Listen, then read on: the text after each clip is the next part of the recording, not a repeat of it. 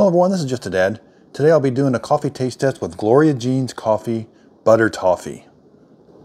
So I wasn't able to get it in a smaller box. The 24 was the smallest one I could find. I like when they come in 12 count boxes, but the box doesn't say a whole lot other than it's smooth, creamy, and a touch of caramel toffee flavor. So this is flavored coffee at a medium roast. They, it does say it has Arabica coffee beans. So I did cut a K-cup open. Now the coffee smells really good. It definitely looks like a medium roast.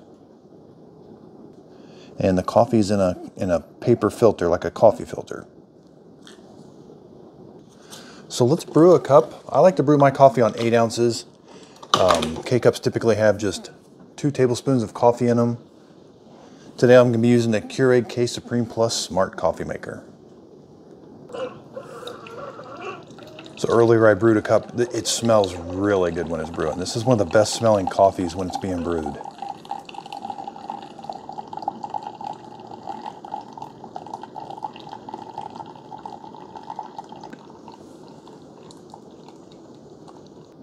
Okay, so let's give it a smell.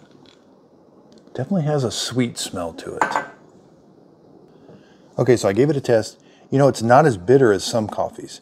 Um, that butter toffee it seems pretty, it seems pretty good. It actually tastes really, really good.